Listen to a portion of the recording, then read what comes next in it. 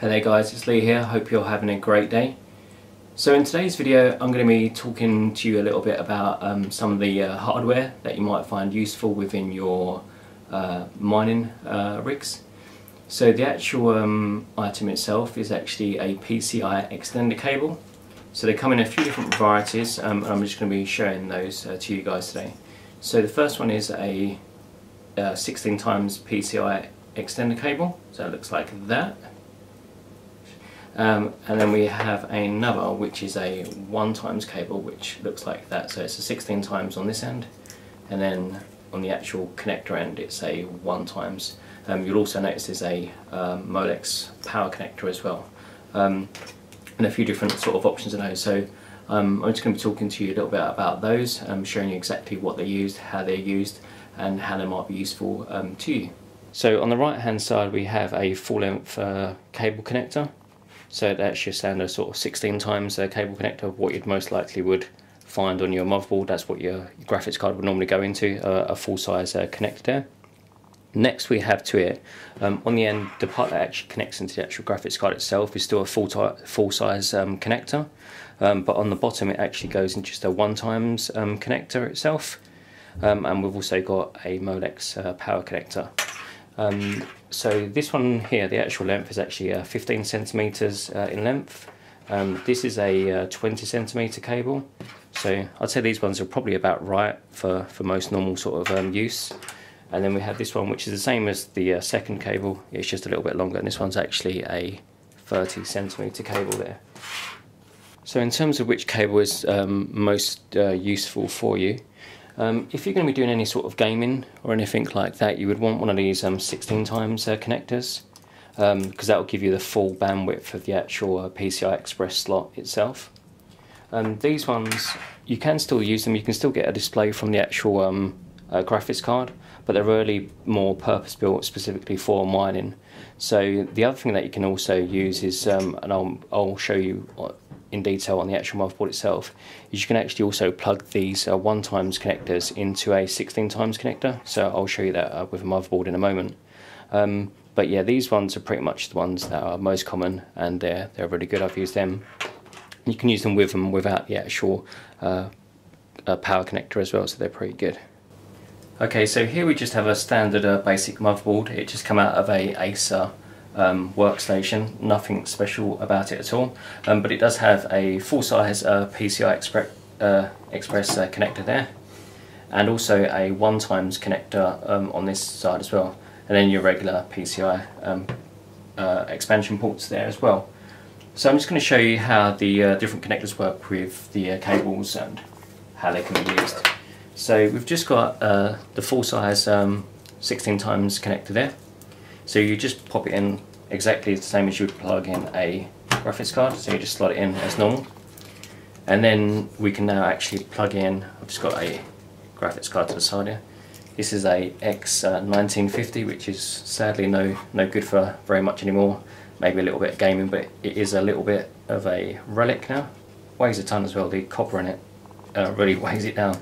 Um, so then you would plug in your graphics card, uh, just let me uh, release the actual notch on the back there. So then you plug in your graphics card just like normal and secure that. And then what it does is it gives you this, um, let me see if I can get a bit better angle on the camera here. So then what it does is it gives you this um, increased height.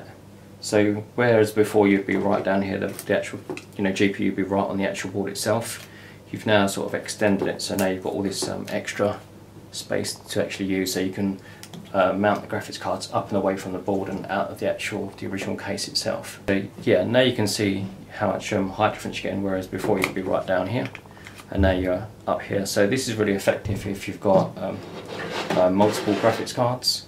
So you, maybe from this angle you can see a little bit more. So this is only like a 15 centimeter cable, but you can get the, the actual cable lengths in different um, lengths, obviously um, and they go up to about, I think the maximum is about uh, 30 or 40 centimetres. I've got a 30 centimetre cable and that gives you um, uh, all the space I think a normal person would kind of uh, need. So that's the uh, 16 times graphics card. I'm just going to unlock that. And um,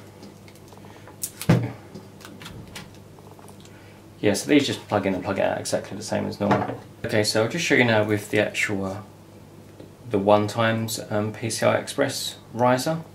So on the, uh, the actual motherboard end, you just have this one times connector. So on your motherboard, it can plug into a one times PCI Express connector, like so. So you should be able to see that. So nothing special or miraculous there. Um, but then what you can do is you can plug in your full-time uh, or 16 times graphics card into that connector. So obviously that can go into there. Obviously I've got the lock on slightly now. So that can actually go into there.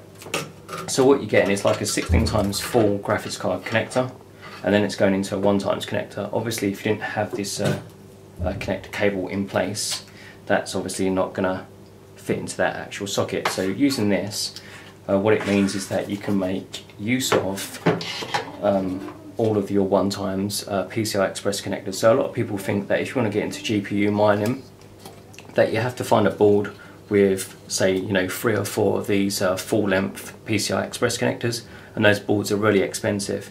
Um, but what you can actually use is the one times connectors as well.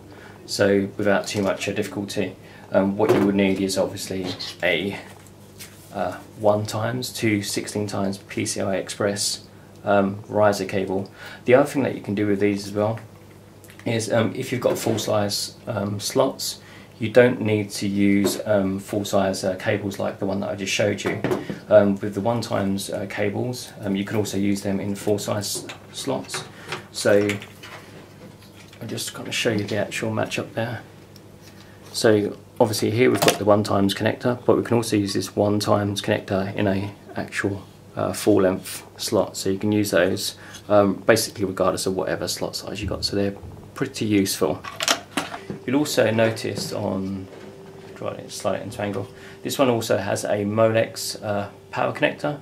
So this is just like an auxiliary uh, power connector. Um, I've used these um, PCI Express riser cables with and without the additional uh, power connector.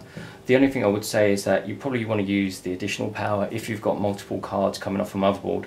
Um, the motherboard um, can supply the power that the graphics cards need. Obviously, you're going to have the separate power connectors in there as well. Um, but if you're running, say, you know, four or five graphics cards from a single motherboard, then you probably want to be using these um, supplementary um, or complementary sort of uh, power sources as well. Get those plugged into your power supply, and it'll just take you know the the load off the actual motherboard or the power coming through the motherboard. So that might be useful for you. So there's also a new type of um, PCI Express um, extender cable as well that you want to be um, aware of. Um, I don't actually have any here unfortunately, I bought my cables quite a long time ago, but there is like a newer format version as well. So the ones that I showed you is this 16 to uh, 1 times connector, and it's just got this uh, grey uh, ribbon cable between the actual the ends of each end of the actual connector itself and then you've got this um, Molex power connector. So they're the ones that I've been using, um, but also to make you aware of, there is a revised version of this kind of format. So what happens is, uh, where you've got this grey, uh, grey ribbon cable in between the two connectors, um, there's a newer one, and what it actually has is a USB cable between the two connectors. So um, this, you'll have this section here, and it will go to like an external USB connector and then you'll have your regular, just like a USB extension lead that will run in between and then it will go to another USB connector on the actual um, the full size uh, graphics connector as well and um, also the uh, power connector is also different. On instead of a Molex connector, they've got serial ATA connectors which can be used just as well. Um, so that's just like an updated version of these um, style connectors. So yeah, if you're looking around to purchase one and you can see those USB sort of style ones, um, then yeah, pick those up and they work um, just exactly the same as uh, these ones. Okay guys, so that's it for today's video. Uh, once again, thanks for watching. Hopefully it's given you a little insight into how to use PCI Express uh, riser cables, um, the different formats and how they can be used in your uh, mining rigs. Um, if you've got any questions or comments, um, as always, just leave those in the comments box and I'll be sure to get back to you guys. Uh, thanks again for watching. Take care.